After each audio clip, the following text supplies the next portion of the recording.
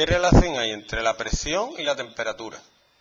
A más presión, cuanto más aprietes un gas, como tú sabes que la temperatura es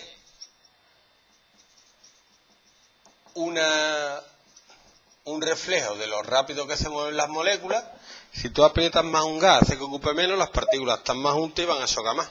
Y si chocan más, van más rápido. Entonces, a más presión, más temperatura. Son directamente proporcionales y la fórmula es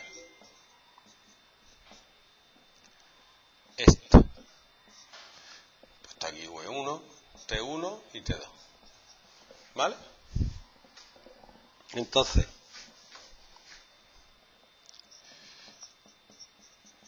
¿a qué temperatura?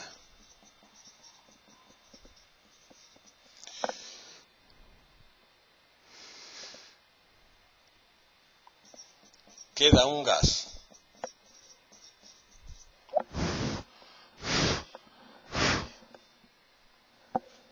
¿A qué temperatura queda un gas?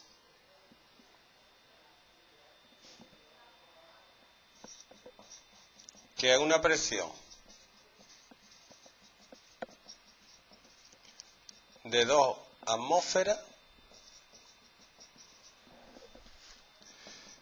tiene una temperatura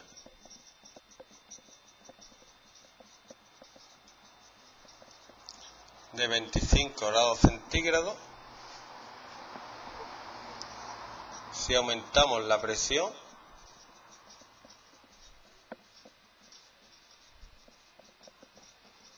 a 3 atmósferas. Entonces, tenemos que la temperatura 1 es 25 grados centígrados, la tenemos que poner en Kelvin, siempre.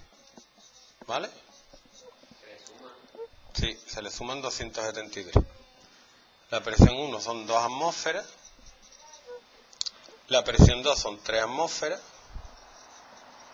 Y la temperatura 2 es lo que quiero calcular. Presión 1 partido temperatura 1 es igual a presión 2 partido temperatura 2. Y aquí la temperatura sería 298 por 3 a 447 Kelvin. Que son 174 grados, claro. Tú no puedes apretar mucho las codas porque no explota. Aumenta la temperatura. Se empiezan a chocar y se vuelven locas.